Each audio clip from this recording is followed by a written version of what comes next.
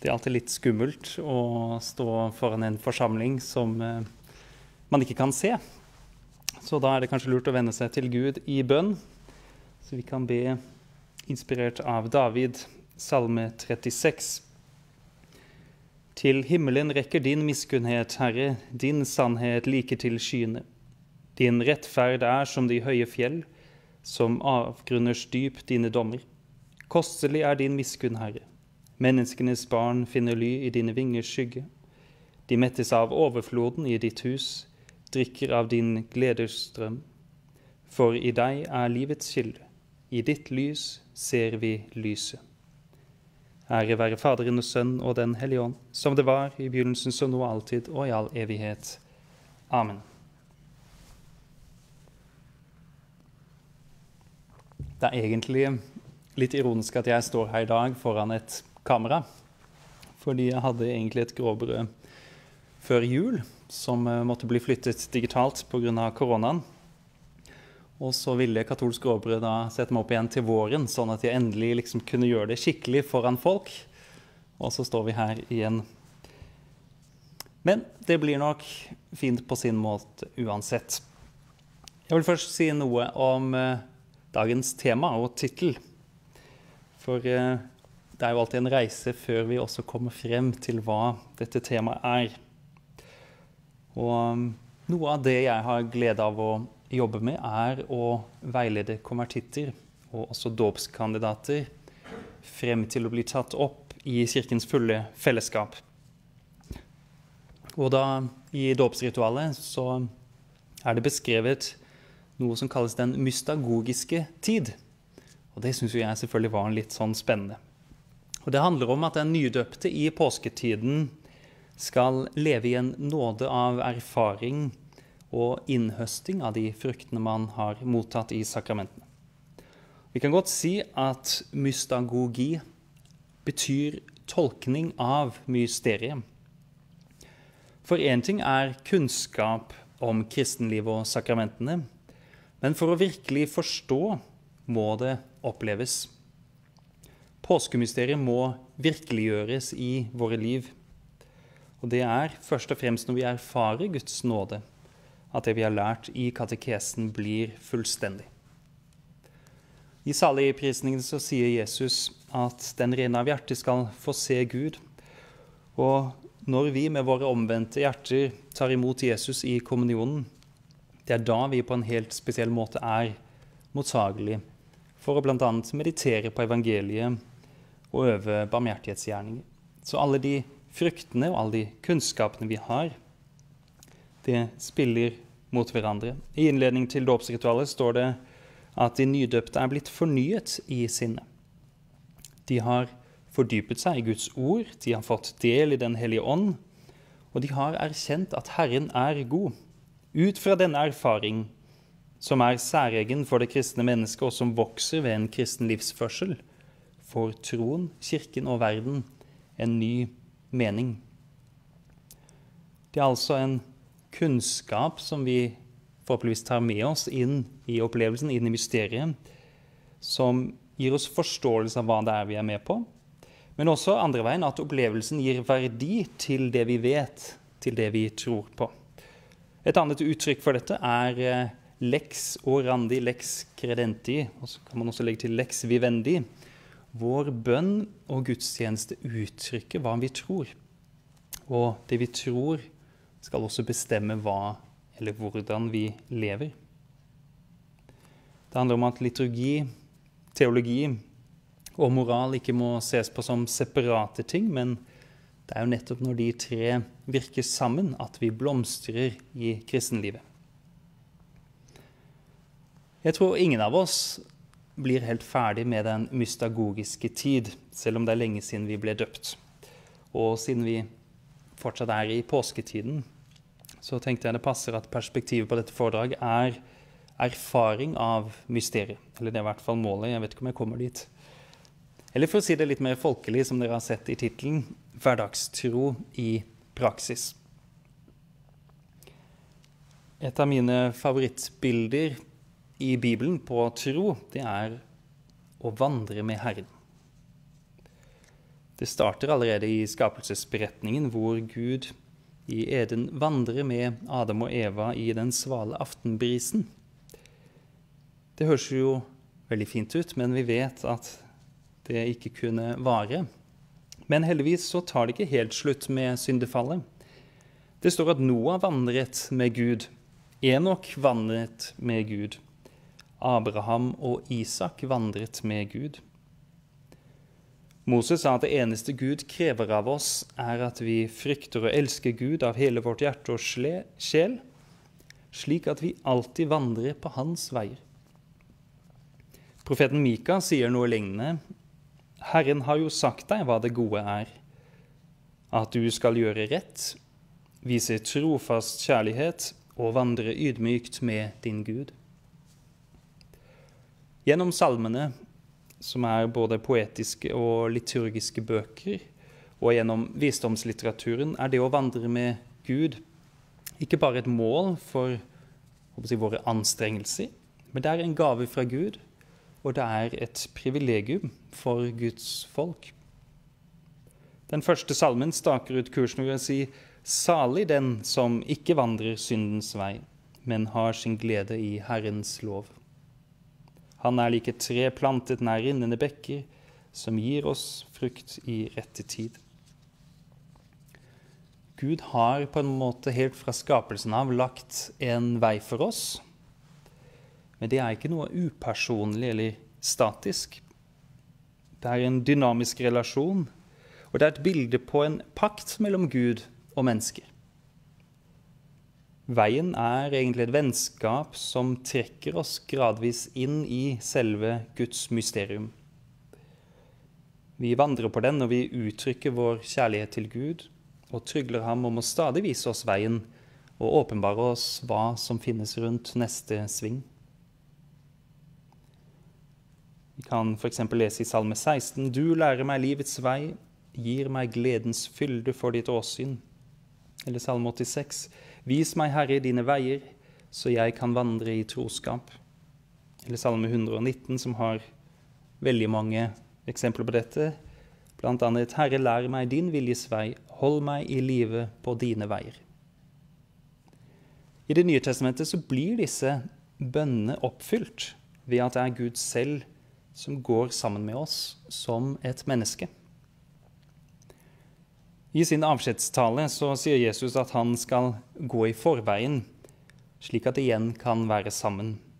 Bli ikke grepet av angst, men ha tro. Dere vet jo veien. Og så har du Thomas da, som trer frem og snakker på vegne av oss alle. Nei, men herre, vi, vi vet jo ikke hvor du har tenkt deg hen. Hvordan søren skal vi da vite veien? Litt sånn oppgitt, eh, og jeg tror vi alle kan kjenne oss litt igjen. Og Jesus svarer bare enda mer mystisk. 'Jeg er veien, sannheten og livet'. Det han egentlig sier, er at om du kjenner meg, så kjenner du Gud. Så fortsetter han. Snart ser ikke verden meg lenger, men dere skal se meg, for jeg lever. Og dere skal også leve i meg, som jeg lever i dere. I Det nye testamentet og spesielt etter Jesu død, oppstandelse og himmelferd, så ser vi en overgang fra det å vandre med Gud til å leve i Kristus. Paulus skriver bl.a. i 2. Korinterbrev den som lever i Kristus, er en ny skapning. Det gamle er borte. Se, det nye er blitt til. Flere steder snakkes det om å ikle seg Kristus. I romerbrevet finner vi uttrykket 'å vandre i et nytt levnet'. Altså det er et nytt liv eller en ny tilværelse vi ferdes i. For å si det litt mer nærmere oss, kanskje at vi, når vi tar på oss troens briller, så ser hele virkeligheten, hele verden, litt annerledes ut. Men det er ikke bare det at vårt syn eller vårt tilstedeværelse i virkeligheten blir ny. Det er en helt ny livsførsel. Som det står i Efeserbrevet, vi er Hans verk, skapt i Kristus Jesus til gode gjerninger, som Gud har lagt til rette for at vi skal vandre i dem. Om ikke dere leier sitater, har jeg det enda lenger et nå fra Kolossebrevet. Vår bønn er at dere må bli helt gjennomtrengt av erkjennelsen av Guds vilje og fylt av Åndens visdom og innsikt, så dere kan føre et liv som er Herren verdig, fullt ut er etter Hans sinn. Da bærer dere frukt i all god gjerning og vokser i kjennskap til Gud, fylt av en styrke som har sitt opphav i Guds egen herlighetskraft. Og med glede skal dere takke Faderen, som har satt dere i stand til å få del i de helliges arv i lyset. For han har revet oss ut av mørkets makt og ført oss over i sin elskede Sønns rike.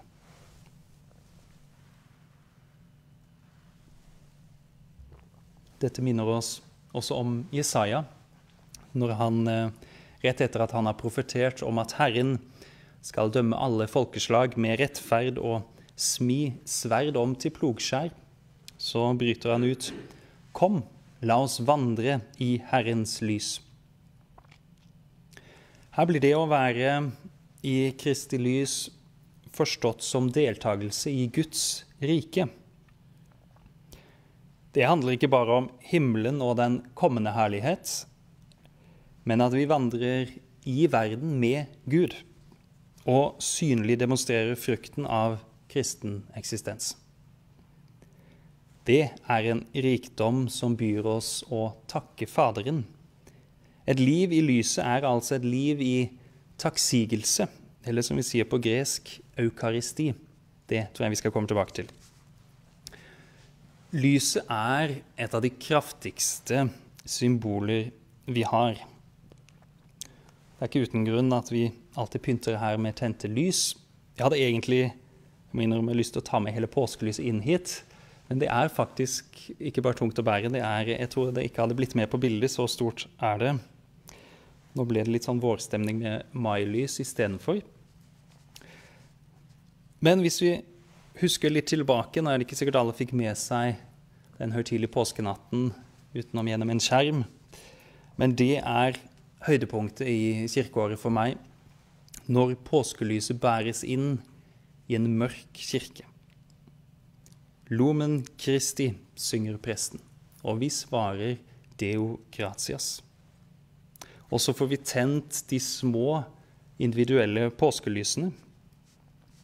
Og så hører vi påskelovsangen, og Kristi lys skinner der majestetisk gjennom hele frelsehistorien.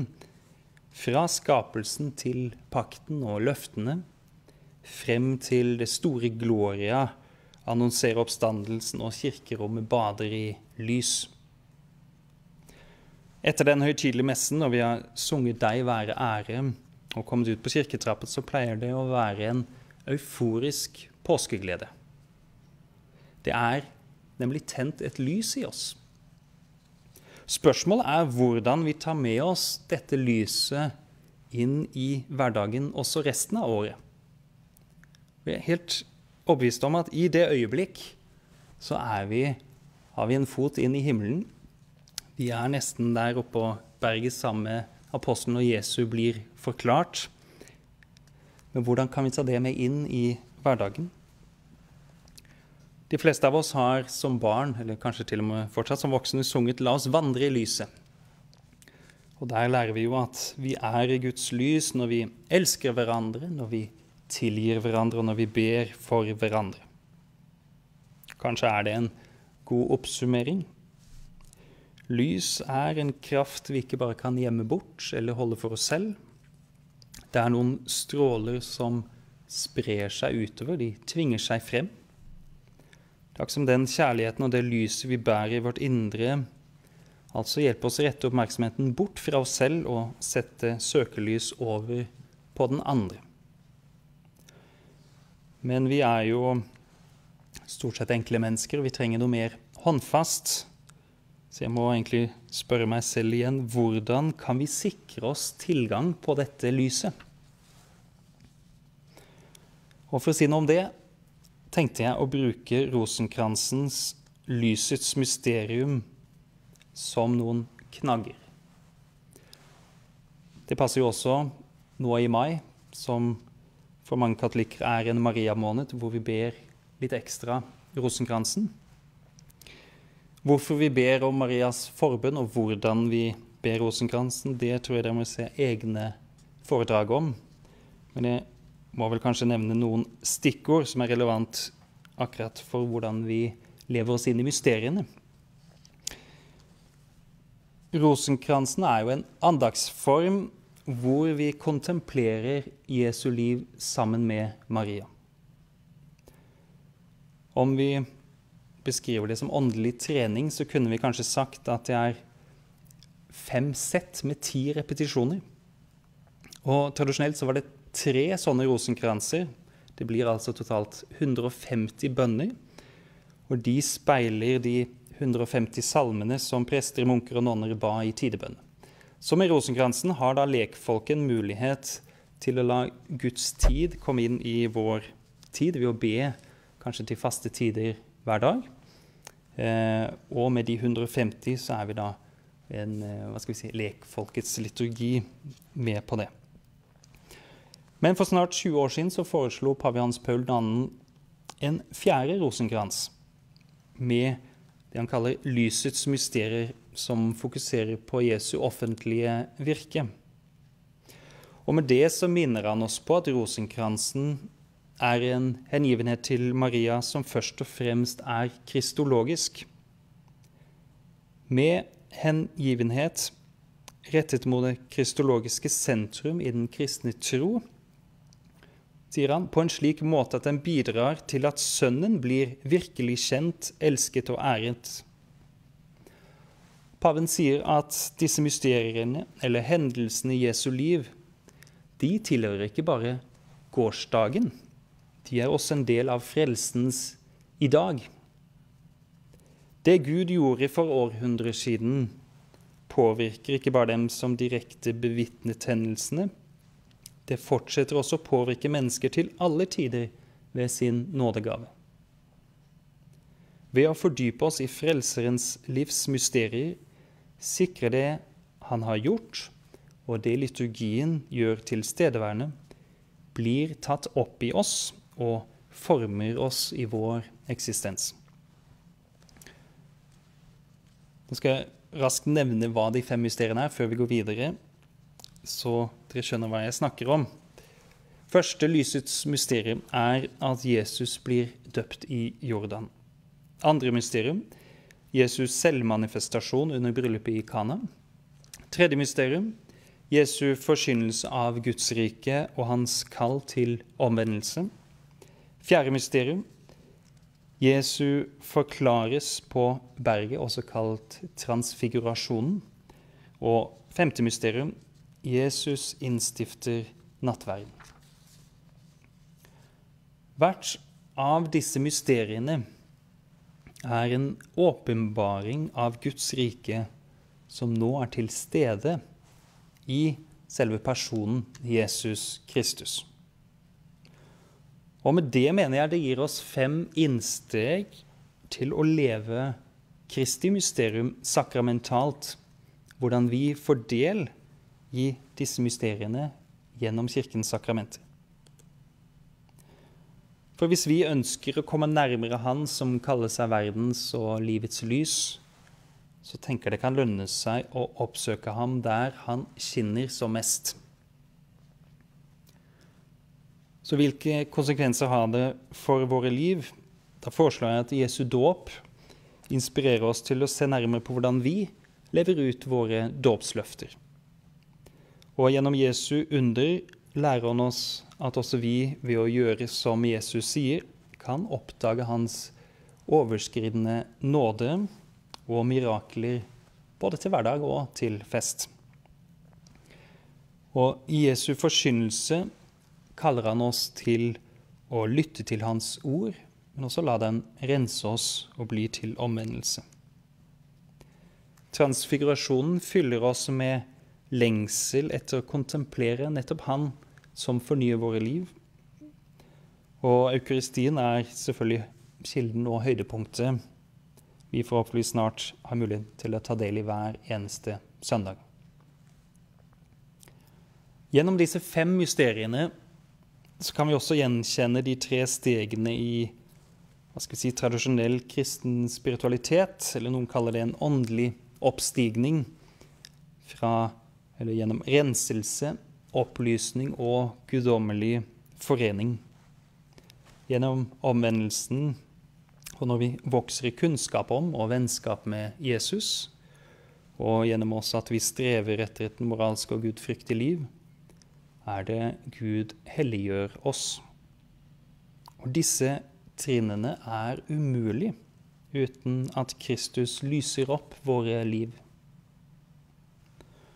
Og når vi først snakker om litt sånn østlig spiritualitet og guddommeliggjøring, så kan det passe å nevne at en del østlige kirkefedre snakker om Gud som det uendelige hav av guddommelig lys, som en kilde til all opplysning og en kilde til all væren.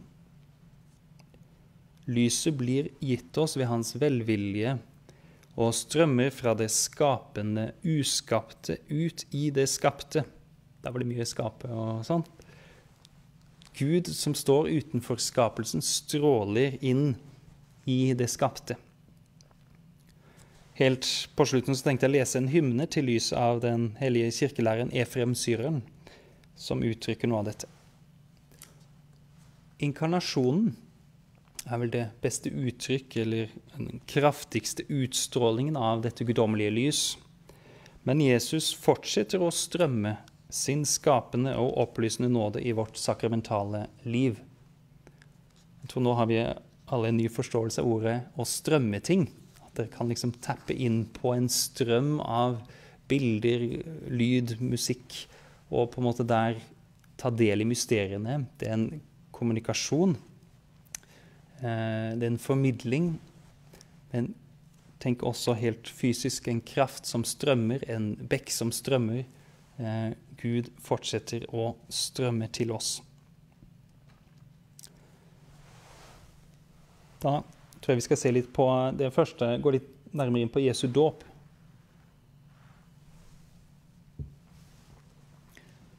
Kristus stiger ned i vannet. Han er den uskyldige som ble til synd for vår skyld. Han, eh, i, han, I det han gjorde det, så åpnet himmelen seg. Dette er ganske dramatisk skildret i spesielt Markus' evangeliet. Og Faderen stemme erklærer ham for å være den elskede sønn. Og samtidig så senker ånden seg over ham og gir ham oppdraget han er klar nå for å utføre. Dette er en veldig sånn lysende hendelse hvor hele treenigheten åpenbarer seg for aller første gang sammen. Og Det peker også på vårt første møte med treenigheten i dåpen. Hva er det egentlig som skjer der? Jo, i dåpen så blir vi innviet i de guddommelige mysterier. Det er noen guddommelige hemmeligheter som blir oss til del. Men det er ikke noe upersonlig. Treenigheten er altså den personlige Gud som kommer til oss. Så i dåpen så får vår sjel et møte med den treenige Gud, og det er starten på et vennskap. Vi kaller det ofte for troens sakrament, fordi det er en frukt av, eller et resultat, eller menneskets svar på frelsesverket. At når vi møter det Gud har gjort i historien, eller for oss personlig, så er den troendes eneste mulighet er å Ja, jeg må la meg bli døpt. Det er ingen vei utenom. Det er dette jeg ønsker, som vi bl.a. ser i apostelens gjerninger. Og Med det så legges hele fundamentet for kristenlivet det er døren til liv i nåden og alle de andre sakramentene. Det er også døren inn til det evige liv. I denne neddykkingen så er det at vi begraves og oppstår med Kristus. Og vi sier ofte at man ikler seg Kristus, og med ham blir verdens lys. I lyset av påsketiden, eller dette påskelyset, som vi også minnes vår dåp i.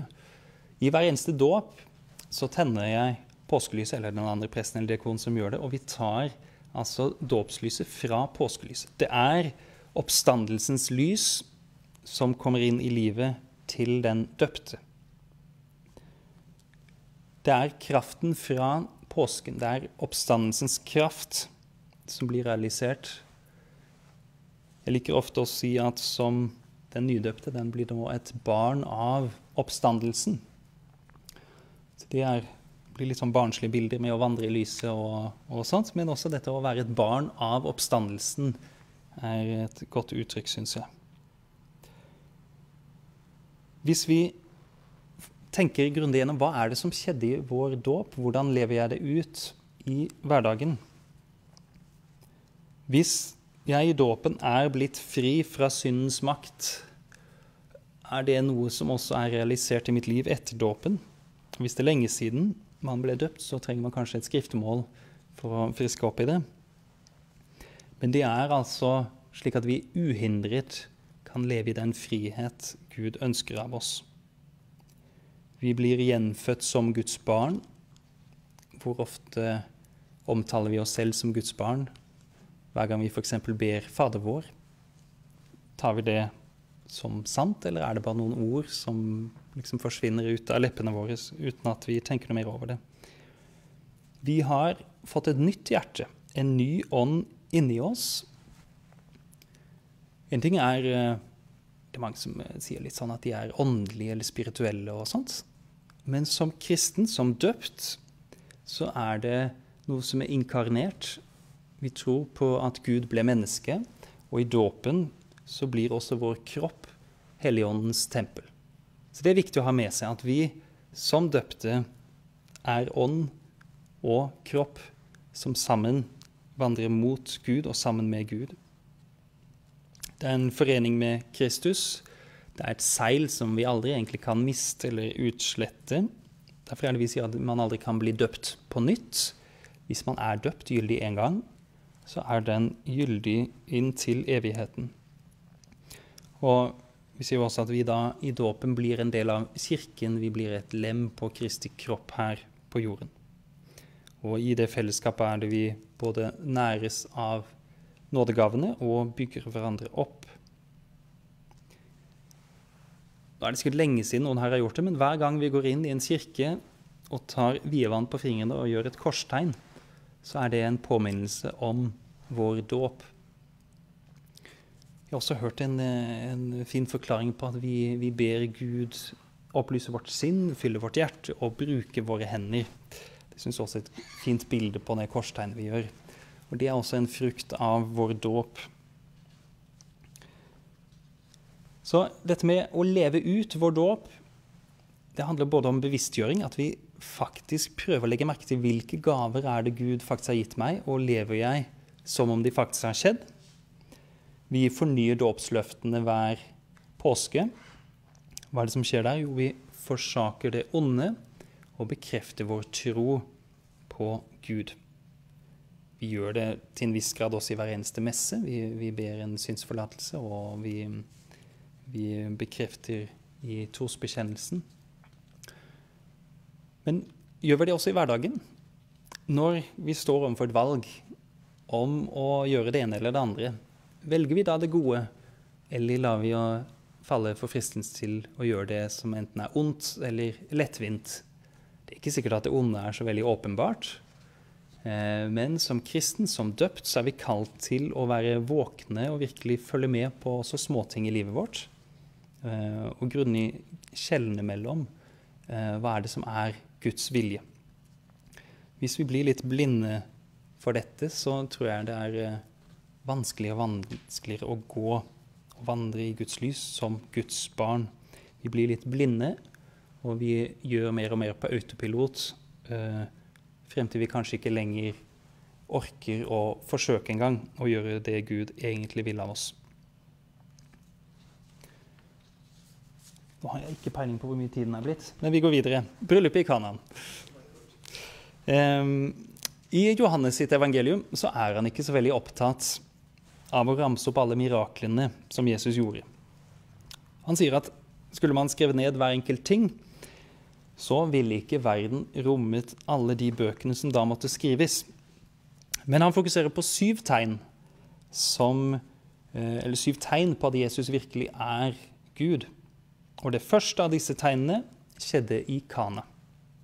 Da Kristus forvandlet vann til vin, åpnet han disiplenes hjerter for troen, takket være Maria, den første av de troende, skriver paven. Det som er verdt å tenke på da, er Vi bruker også denne teksten som et bilde på at Gud har løftet ekteskapets verdighet til et sakrament. Det betyr også at Gud trer inn i vårt liv. Jeg vet ikke åssen det er med deg, men jeg tror mange av oss har en tendens til å liksom leve et litt sånn spaltet liv. At det å være kristen det er noe vi gjør på søndager, og så er vi kanskje litt mindre kristne med de menneskene, eller når man er på jobb eller på skole og sånne ting. At man, man skiller litt mellom skal vi si, ulike etapper i hverdagen, til og med. At kanskje du har noen tidspunkter hvor du ber fast, og du er veldig god på det. Men spørsmålet er slipper vi Gud inn i alle deler av vårt liv. Det er lett å tenke at ja, når vi er ute på en fest, så er ikke det noe vi nødvendigvis gjør med Gud hvis vi skal ta det helt direkte. Det er et bryllup. Han gjør vann om til vin. Selvfølgelig drikker de seg fulle og har det gøy. Og da er spørsmålet gjør vi det med en bevissthet om at vi også gjør det med Gud. Ikke at man målet er å bli beruset, men poenget her er at det finnes ikke et eneste aspekt i livet ditt som ikke angår Gud. Jeg tror mange har en tendens til å komme til Gud når vi sliter, og andre igjen sier at nei, når, når, det er så mørkt, så klarer de ikke be engang. Uh, og når de har det bra, så glemmer man Gud. Så gjenstår spørsmålet men når er det da du har tid til Gud? Så derfor er det jeg tenker at dette første tegnet blir gjort i hva skal vi si, Det er både noe så hverdagslig og så sekulært. altså det, hadde, det var ikke i tempelet det skjedde. Dette var et bryllup i en familiefest eh, rundt et måltid, som også Gud bruker ofte som et tegn. Så det er både det hverdagslige, men også høytiden som forenes i dette eksempelet, tenker jeg. Tar vi med Gud i våre høydepunkt i livet, feirer vi våre seire med Gud, men også hva den velsignelsen betyr i hverdagen. F.eks. i ekteskapets sakrament så sier vi at paret får nåde til å leve i den stand og nettopp være i et eksklusivt, livslangt fellesskap i liv og kjærlighet som er fruktbart og velsignet av Gud. I et bryllup så er det En ting er fellesskapet, vi er til stede. Vi gir ofte gaver til paret som skal hjelpe dem i hverdagen. Det er mange flotte taler som skal inspirere dem, som de har noe å på en måte leve på en god stund fremover. Og alt dette er ment å gi dem næring eh, fordi det kommer, som vi sier i løftene, gode og onde dager. Så selv om vi tenker at ekteskapet har en spesiell verdighet, så mener jeg dette også er et eksempel på at vi i livet trenger fornyelse av Guds nåde for å komme gjennom hverdagen. Så vi må la Gud slippe inn når vi følger Guds vilje i de små tingene, sånn som vi, Maria sier 'gjør som han sier', og så ble det et mirakel. Det kan vi også bli inspirert av i våre liv. Gjør vi som Jesus sier, så er det store, eller i hvert fall større sjanse for at det skjer mirakler. Kanskje skjer det små mirakler hver eneste dag, bare at vi ikke oppdager det. Så Det handler også om å la Gud slippe inn i våre liv og være bevisst på alt det han gjør, for å kunne takke Gud for det. I det tredje mysteriet, som handler om Jesu forkynnelse, det er nok et lysets mysterium. At Kristus forkynner eller annonserer Gudsrikets komme. Og han kaller oss til omvendelse, og han tilgir syndene til alle som ydmykt kommer til ham. Noe av det han sier, er 'venn om', og tro på evangeliet. Så hva er evangeliet? Hva er det glade budskap? Er det noe vi verdsetter i hverdagen? Kort fortalt at Gud ble menneske for å reise oss opp, for å gi oss nytt liv. At han led, han døde på korset. Men at ikke det slutter der, at han oppsto. Det som ofte kalles krygma, kjernebudskapet i evangeliet. Er det noe som inspirerer oss i hverdagen, eller blir det på en måte en klisjé som ikke betyr noe for oss? Eller alle de ordene Jesus sier, hans forkynnelse. Det er veldig lett å trekke ut noen høydepunkter fra bergpreken f.eks., eller noen uh, siterer ja, 'størst av alt er kjærligheten', og man, man, finner noen sånne inspirerende ord innimellom, men som ut av sin kontekst blir ganske platte. For at Guds ord skal være levende, så må de leses både ofte og i sin kontekst. Og vi har et veldig godt hjelpemiddel i liturgien. Vi hver dag får vi servert nye tekster, og gjennom kirkeåret så får vi da vi blir godt kjent med hele Bibelen og Guds ord. Men hva gjør du hjemme? Har du Bibelen Er den liksom støvet ned i en krok inne i bokhyllen, eller er den synlig? Blir den ofte tatt ut? Noen anbefaler at man kanskje til og med kjøper en litt fin bibel, så du har den litt tydelig fremme. Har den en hedersplass?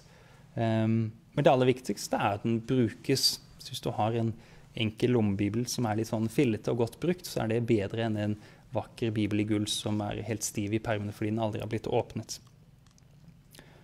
Men sier, nei, Jesus sier i Johannes evangeliet bl.a.: Dette er det evige liv, at de kjenner deg, den eneste sanne Gud, og Han som du har sendt, Jesus Kristus. Så nettopp det å bli kjent med Jesus gjennom ordet, det er deltakelse i det evige liv. En annen ting dette mysteriet peker på, er omvendelse. Det kan man si veldig mye om, men eh, dette med bot er egentlig et vindu til Guds barmhjertighet. Og der også har vi noe helt konkret vi kan gjøre. En ting er som jeg sa, at hvis vi prøver å se Guds vilje i hverdagen og la Han slippe inn, kanskje man avslutter dagen med en samvittighetsransakelse. Eh, I begynnelsen av hver messe så, så, ber vi Gud om tilgivelse for våre synder, våre tanker og ord, gjerninger og forsømmelser. Men vi har også en enda mer konkret ting skriftemålet. Og paven skriver da i at denne innstiftelsen av barmhjertighetens tjeneste fortsetter han å utøve inntil verdens ende, særlig gjennom forsoningens sakrament, som han har overlatt i sin kirkes varetekt. Så dette frelsens mysterium, at Guds rike er nær, at vi er kalt til omvendelse fra synder, dette realiseres i skriftemålet. Så dette blir en, på en måte en ny påminnelse om at det er verdt å oppsøke skriftestolen eh, minst én gang i året hvis du i det hele tatt skal kalle deg katolikk. Eh, helst en gang i måneden. Eh, spørs hvor ja, hva du sliter med, holdt jeg på å si. Eh, mange av våre synder er ting som vi må skrifte igjen og igjen. Det er ikke meningen og det er ingen forventning om at hvis du har skriftet noe én gang, så er du ferdig med den, og så går du videre til neste synd. Um, ofte er det sånn at jo mer vi jobber med en synd, jo oftere vi bekjenner den, ber over den, ber om Guds kraft til å stå imot, jo dypere går vi kanskje inn i den. Eh, ikke bare negative ting vi skal forsøke å holde oss unna, men også dydene, de gode ting som vi ikke har makt til å gjennomføre. Så skriftemålet er en, en kalibrering av vår samvittighet og en fornyelse av den kraften til å gjøre det. Så det er aldri et nederlag å komme til skriftstolen, det er alltid en seier. Det er alltid en ny overvinnelse av det onde. Det er alltid en, på en måte en ny dåp hvor vi forsaker djevelen og bekjenner vår tro på Kristus, som gir oss kraft til å leve et nytt liv i ham.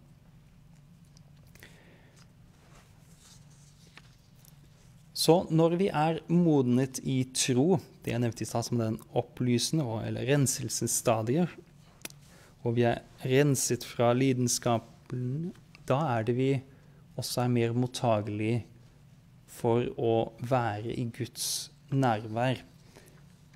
Så det passer videre, fint å gå videre til transfigurasjonen. Den kaller paven for lysets mysterium par excellence. Jesus tar altså med seg Peter, Jakob og Johannes opp på det hellige fjell. Og der er det ikke bare en åpenbaring av Jesus som oppfyllelsen av både loven og profetene, men hans guddommelighet skinner igjennom. Hans herlighet, ære, skinner fra ansiktet, og Faderen beordrer de forbløffede disiplene til å høre på ham, og med det forberede seg på å leve hans lidelses smertefulle øyeblikk sammen med han, og for sammen med han å nå frem til oppstandelsens glede og et liv forvandlet av Den hellige ånd. Det står at hans utseende ble forvandlet for øynene på dem. Hans ansikt skinte som solen. Det at de tre apostlene blir trollbundet av den guddommelige skjønnhets stråleglans blir av paven beskrevet som et ikon for kristen kontemplasjon.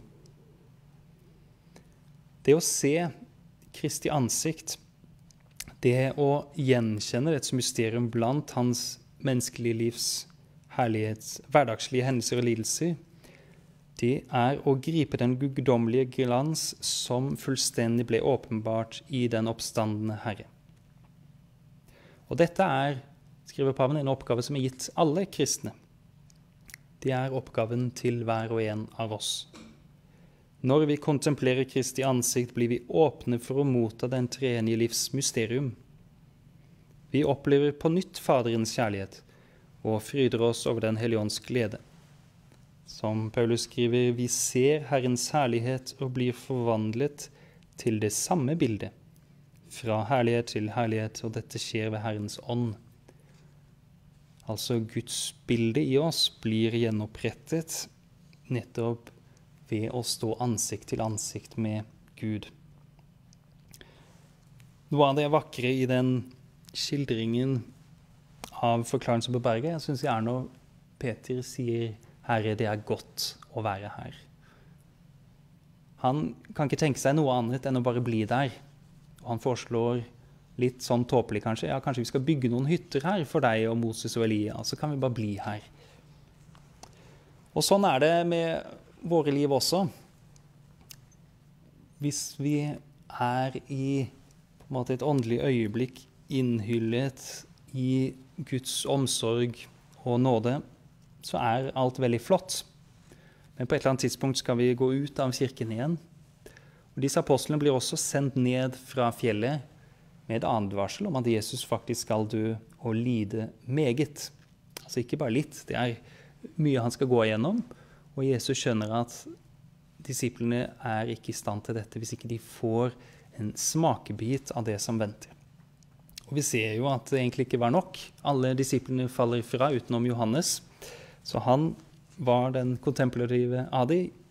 Peter har det i kjeften, men han eh, fulgte ikke opp da det gjaldt. Jeg syns et godt bilde på transfigurasjonen er det vi kaller sakramentsandakt.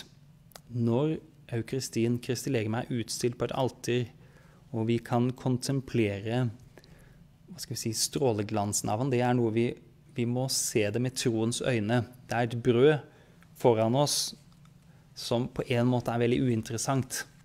Men med tro på at dette er Kristus, er det vi kan oppdage hans herlighet som virkelig er til stede. Og et bilde på det er også Det står at ansiktet hans lyste opp som solen. Og jeg tenker av og til at både hvilken som helst bønn, men kanskje spesielt en sakramentsandakt, kan sammenlignes med å sole seg fordi vi er til stede i stillhet. Det er ikke det at vi skal gjøre så himla mye. Det er ikke sånn at vi skal si noe eller um, Vi bare er der og lar ham stråle på oss. og vi ser tydelig effekten. Vi kan kjenne en varme. Um, det er ikke sikkert det kommer med en gang. Når vi har vært ute i solen, så det, ser vi kanskje litt senere at vi er blitt brune, eller kanskje til og med litt røde. Det som er litt fint med eukaristien, er, eller Gud generelt, er at vi aldri blir solbrent.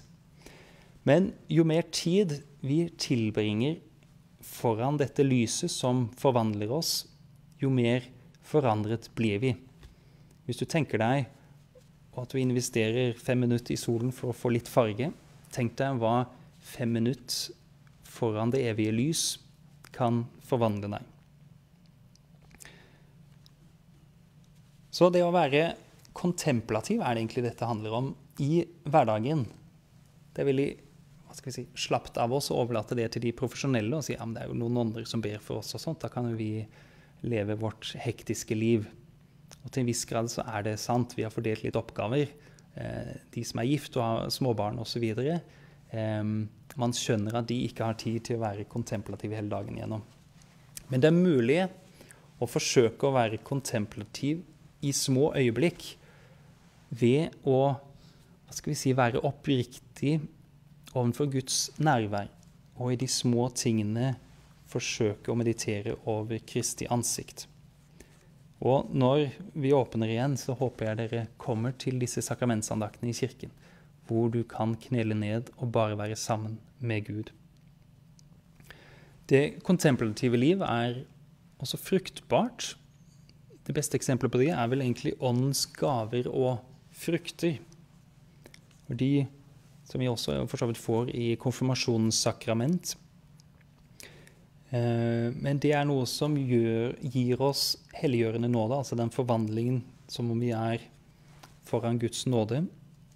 Men det forbinder oss ikke bare med Gud, det forbinder oss også med Guds folk. Altså Kirken som institusjon og fellesskap. Og de fruktene eller den styrken vi får til å bære et offentlig vitnesbyrd ut. Så vi trenger å la Kristus stråle på oss. Vi trenger det kontemplative i hverdagen for å være utrustet som kristne.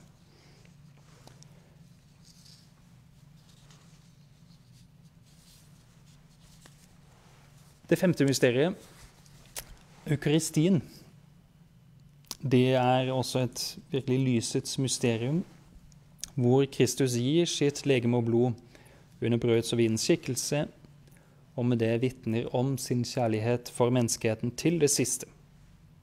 For dens frelse vil han gi seg selv som offer. Så dette er sakramentet hvor Kristus selv både ofres og mottas av de troende.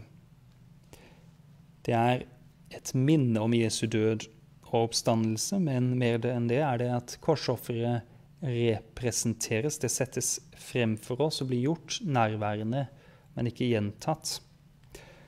Og som jeg tror jeg sa et eller annet sted i innledningen, dette er da kilden og høydepunktet til vårt liv. Jeg ser ofte for meg søndagen.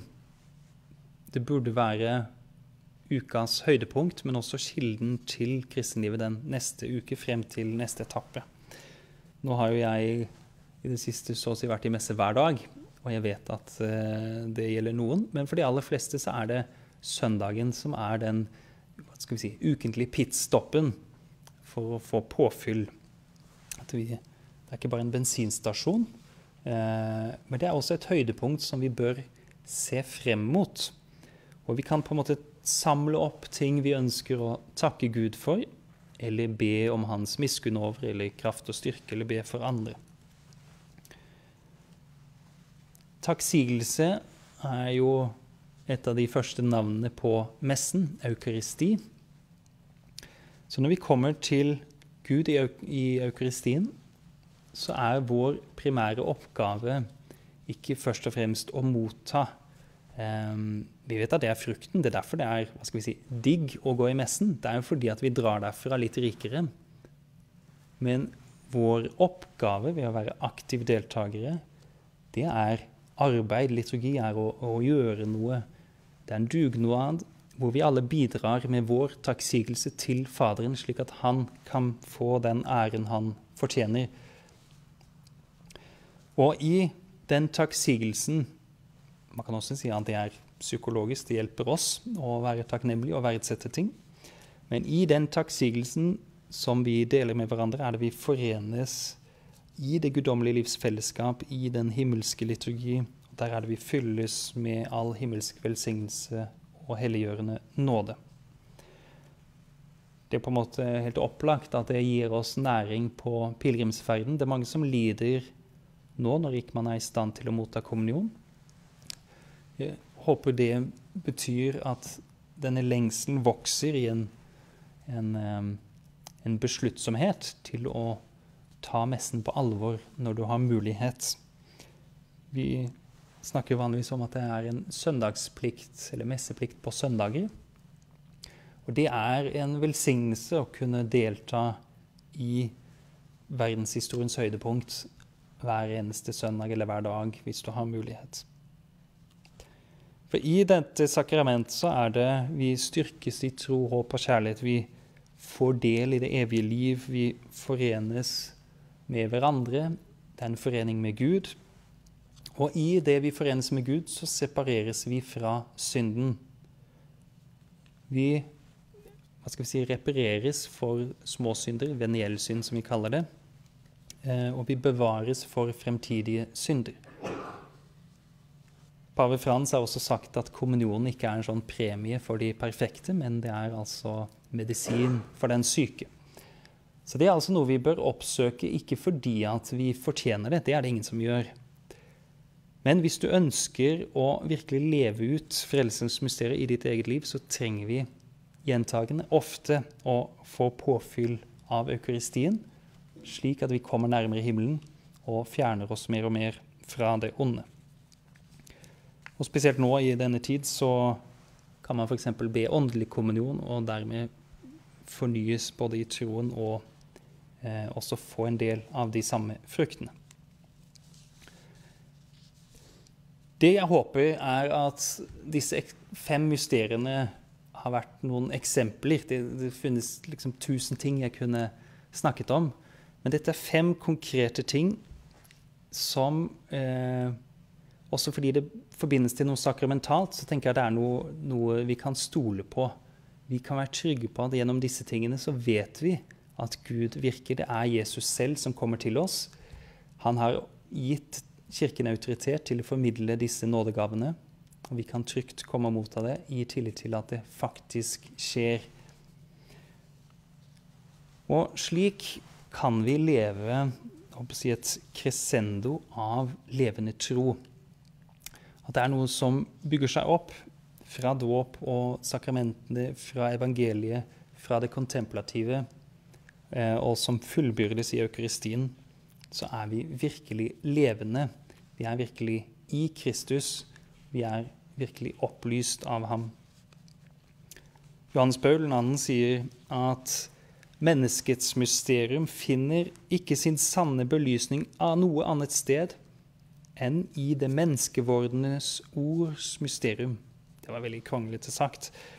Men poenget er det er Gud som er blitt menneske, som gir oss den sanne opplysning også om hva det er å være menneske. Når den kristne følger hans vei, så blir også menneskets vei rekapitulert. Det blir gjenopprettet, åpenbart og frelst. Og vi kommer ansikt til ansikt med bildet av det sanne mennesket som Pilatus sier ganske profetisk, Etche homo, her er mennesket fremstilt for dere. Så når vi lytter til Mesteren i hans offentlige virkes mysterier, så sier paven at også vi finner det lyset som leder oss til inntreden i hans rike. Mysteriene hjelper oss å likedannes mer og mer med Kristus, inntil vi oppnår sann hellighet. Det er også en vanlig bønn på slutten av rosenkransen som beskriver dette ganske godt. Gi oss nåde til å etterligne det de lærer oss, og nå frem til det de lover. Nå har jeg egentlig ikke snakket så mye om at akkurat å be denne rosenkransen, men hvordan det kan brukes som knagger til kristenlivet. Men jeg vil selvfølgelig anbefale å faktisk be dette med Maria og med hverandre, spesielt nå i mai. Jeg lovte at jeg skulle lese noe fra kirkefederen. Jeg fant ikke dette på norsk, så da blir det litt engelsk. Um, jeg håper det også går greit. Dette var uh, Nå glemte jeg navnet på han. Efrem, syreren. Hymn to the light. The light of the just and joy of the upright is Christ Jesus our Lord. Begotten of the Father, he manifested himself to us. He came to rescue us from darkness and to fill us with the radiance of his light. Day is dawning upon us. The power of darkness is fading away. From the true light there arises for us the light which illumines our darkened eyes. His glory shines upon the world and enlightens the very depth of the abyss. Death is annihilated, night has vanished, and the gates of Sheol are broken. Creatures lying in darkness from ancient times are clothed in light. The dead arises from the dust and sing because they have a Saviour. He brings salvation and grants us life. He ascends to his Father on high. He will return in glorious splendor and shed his light on those gazing upon him. Our King comes in majestic glory. Let us light our lamps and go forth to meet him. Let us find our joy in him, for he has found joy in us. He will indeed rejoice us with his marvelous light. Amen. Er ikke det hyggelig at han gleder seg over oss og på en måte svarer på den gleden ved å stråle sitt lys over oss. Da sier jeg takk for meg, og så overlater jeg ordet til Kristin og Pater Carlo.